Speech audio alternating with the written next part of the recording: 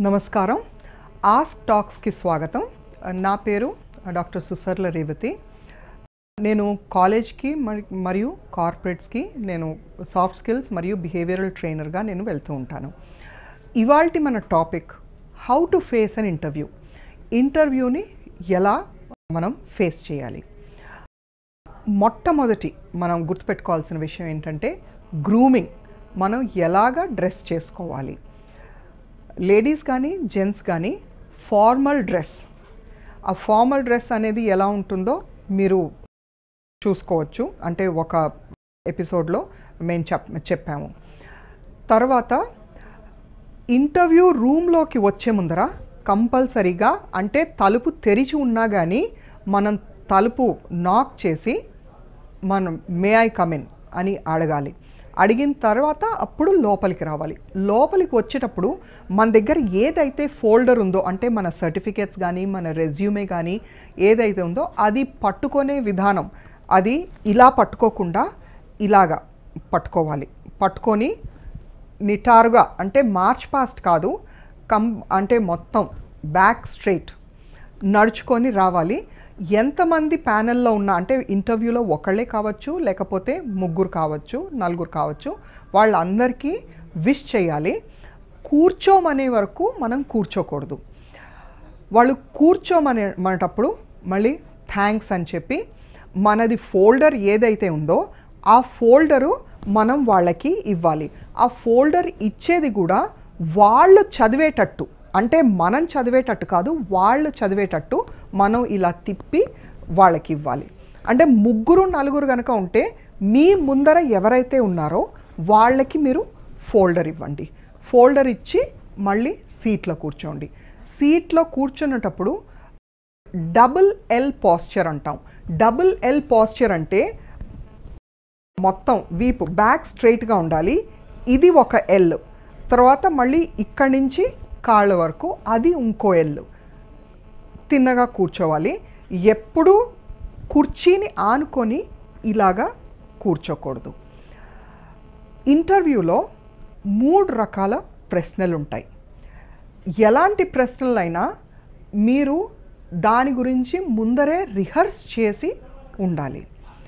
ఈ మూడు రకాల ప్రశ్నలు ఏమిటంటే మొదటి రకం ప్రశ్నలు ఏమంటామంటే స్టాండర్డ్ క్వశ్చన్స్ లేకపోతే జనరల్ క్వశ్చన్స్ స్టాండర్డ్ క్వశ్చన్స్ అంటే మీ గురించి మీరు చెప్పండి. Tell me something about yourself లేకపోతే వాట్ ఆర్ యువర్ స్ట్రెంగ్స్ మీ యొక్క శక్తి సామర్థ్యాల గురించి మీరు చెప్పండి. లేకపోతే మీ హాబీస్ ఏమిటి? అంటే ఈ స్టాండర్డ్ క్వశ్చన్స్ వలన ఏమవుతుందంటే వీటి గురించి మీకంటే ఎవరు బాగా చెప్పలేరు. మీ గురించి మీరు చెప్తున్నారు కాబట్టి మీరంతా కరెక్ట్గానే గడగడా చెప్పేస్తారు. ఇందువలన ఏమవుతుంది? మీలో ఆత్మవిశ్వాసం పెరుగుతుంది కాన్ఫిడెన్స్ పెరుగుతుంది. కాన్ఫిడెన్స్ పెరిగినప్పుడు మీరు ఇంటర్వ్యూయర్ ఏమైతే ప్రశ్న అడుగుతారో దానికి మీరు ఖచ్చితంగా మీరు చెప్పగలుగుతారు. రెండో రకం ప్రశ్న ఏంటంటే స్ట్రెస్ క్వశ్చన్స్. స్ట్రెస్ క్వశ్చన్స్ అంటే మీలో ఒత్తిడి కలిగించే ప్రశ్నలు. స్ట్రెస్ క్వశ్చన్స్ ఎలాగంటే కొన్ని కొన్ని సందర్భాలు వాళ్ళు వివరిస్తూ అడుగుతారు. ఫలానా సందర్భంలో మీరుంటే మీరు ఏం చేస్తారు? ఉదాహరణకి మీరు సెలెక్ట్ అయ్యారనుకోండి మీరు మా ఆఫీస్లో పనిచేస్తున్నారు తర్వాత సడన్గా మీ బాస్ ఎవరైతే ఉన్నారో మీ ఆఫీస్లో మీరు ఓవర్ టైం పనిచేస్తున్నారు ఆఫీస్లో మీరు మీ బాస్ తప్ప ఎవరూ లేరు సడన్గా మీ బాస్ ఏమో గుండె పట్టుకొని కిందికి వాలిపోతారు. అప్పుడు మీరు ఏం చేస్తారు? అంటే దానికి మీరు అప్పటికప్పుడు ఆలోచించి దానికి తగ్గట్టు మీరు సమాధానం చెప్పాలి. మీరు ఎలాగన్నా సమాధానం చెప్పచ్చు. అంటే ఇది రైట్ ఇది రాంగ్ అనేది లేదు. సమయానుసారంగా మీరు దానికి జవాబు చెప్పచ్చు. ఇది ఒక ప్రశ్న స్ట్రెస్ క్వశ్చన్. ఇంకో ప్రశ్న ఏంటంటే మీరేమో క్లయింట్ని క్లయింట్ని కానీ కస్టమర్ని కానీ కలవడానికి వెళ్తున్నారు. మీరు బండిలో వెళ్తున్నారు. ఆ బండి మధ్యలో పంక్చర్ అయిందో లేకపోతే పాడైందో ఏది మీకు ఇంకా కేవలం అరగంటే ఉంది. కానీ మీరు ఇంకా మీరు వెళ్ళాల్సింది నలభై ఐదు నిమిషాలు ఉంటుంది అప్పుడు ఏమి చేస్తారు? అంటే దానికి తగ్గట్టు కూడా మీరు ఇంకోటి సమాధానం చెప్పచ్చు. ఇంకో ప్రశ్న స్ట్రెస్. క్వశ్చన్ ఏంటంటే మీ టీంలోనేమో దాదాపు పది మంది పది పన్నెండు మంది ఉన్నారు. ఒక ప్రాజెక్ట్ మీద మీరు పనిచేస్తున్నారు. మీరేమో టీం లీడర్. సడన్గా మీకు ఎమర్జెన్సీ వచ్చింది. అంటే ఇంటి నుంచి ఫోన్ వచ్చింది. ఇంట్లో కుటుంబ సభ్యులకి ఏమో అంటే అర్జెంటుగా హాస్పిటల్ తీసుకెళ్ళాలి. అప్పుడు మీరు ఏం చేస్తారు? అది కూడా మీరు ఆలోచించి మీరు దానికి తగ్గట్టుగా మీరు సమాధానం చెప్పచ్చు. ఇంకో ప్రశ్న స్ట్రెస్ క్వశ్చన్. మీ ఆఫీస్లోనే మీ సీనియర్ ఒకరు మీ ఆఫీస్లో ఉన్న సీక్రెట్స్ అన్నీ వేరే కంపెనీకి అందజేస్తున్నారు. అప్పుడు మీరు ఏం చేస్తారు? ఇవి స్ట్రెస్ క్వశ్చన్స్ ఇంకోటి మూడో రకం ప్రశ్న ఏంటంటే అన్ఎథికల్ క్వశ్చన్స్ అన్ఎథికల్ క్వశ్చన్స్ అంటే మీరు అడగకూడని ప్రశ్నలు. అడగకూడని ప్రశ్నలు ఇంటర్వ్యూలో ఏముంటాయి? మీరు మీ ధర్మం ఏంటి? మీ కులం ఏంటి? మీ గోత్రం ఏంటి? ఇలాంటివి అడగకూడదు. లేకపోతే మీకు పెళ్ళైందా మీకు పిల్లలు ఉన్నారా మీరు నాతో ఇవాళ సాయంకాలం డిన్నర్కి వస్తారా? ఇలాంటివి అస్సలు అడగనే అడగకూడదు. సో అడిగిన ప్రశ్నలకి మీరు ఆత్మవిశ్వాసంతో మీరు జవాబు ఇవ్వాలి ఒకవేళ మీకు వాళ్ళు చెప్పిన ప్రశ్న అర్థం కాలేదనుకోండి అర్థం కాకపోతే మీరు మళ్ళీ అడగచ్చు. క్షమించండి నాకు మీరు అడిగిన దానికి అర్థం తెలియలేదు. మీరు మళ్ళీ చెప్పగలుగుతారా అని.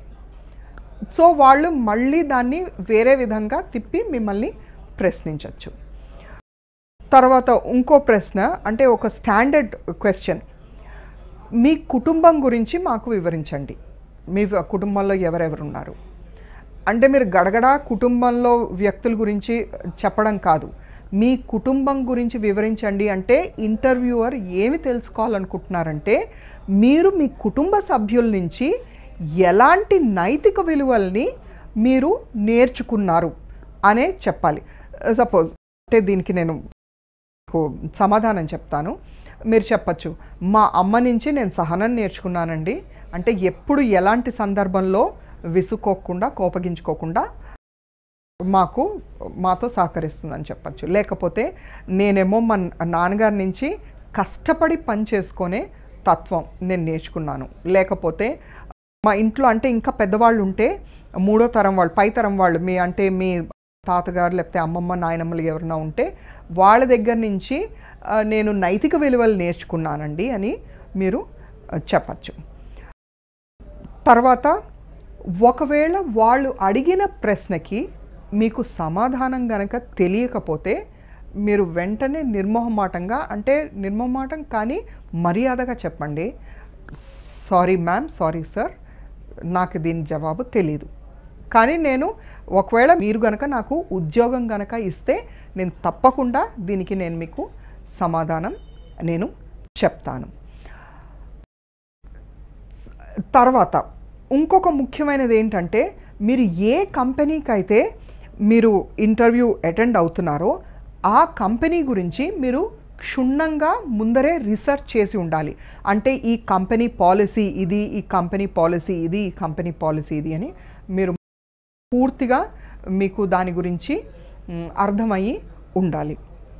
ఇంకో ప్రశ్నకి మీరు అసలు సమాధానం చెప్పకూడదు. ఏంటంటే మీరు జీతం ఎంత ఎక్స్పెక్ట్ చేస్తారు? ఒకవేళ మీరు కనుక ఫ్రెషర్ అయి ఉంటే మీరు జీతం గురించి అస్సలు ఎత్తకూడదు. మాట. మీరు ఎంత జీతం ఆశిస్తున్నారు అంటే మీరు చెప్పండి కంపెనీ పాలసీ ఏదైతే ఉందో మేము దాని ప్రకారమే నేను నడుచుకుంటానండి అని మీరు చెప్పాలి. సో క్లుప్తంగా నేను మీకు ఇంటర్వ్యూలో ఎలాంటి రకాల ప్రశ్నలు వేస్తారో దాని గురించి నేను మీకు వివరించాను. మళ్ళీ ఇంకొక ఎపిసోడ్లో ఆస్క్ టాక్స్లో కలుసుకుందాం. అంతవరకు సెలవు.